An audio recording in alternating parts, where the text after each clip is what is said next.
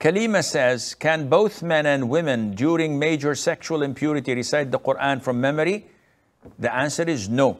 Ali ibn Abi Talib, may Allah be pleased with him, said that the Prophet ﷺ used to mention Allah's name on every single occasion and situation except when a, a person is in his state of major ritual impurity.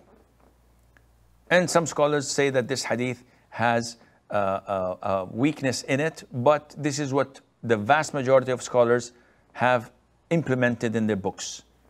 That a person in his major ritual impurity state must not recite the Quran. It's a limited period of time.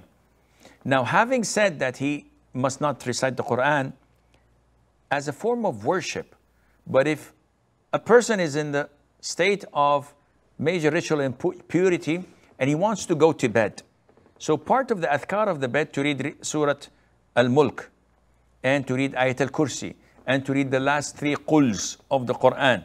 So is this permissible? The answer is yes. Because this is not considered to be reciting the Quran, rather it is reciting the dhikr.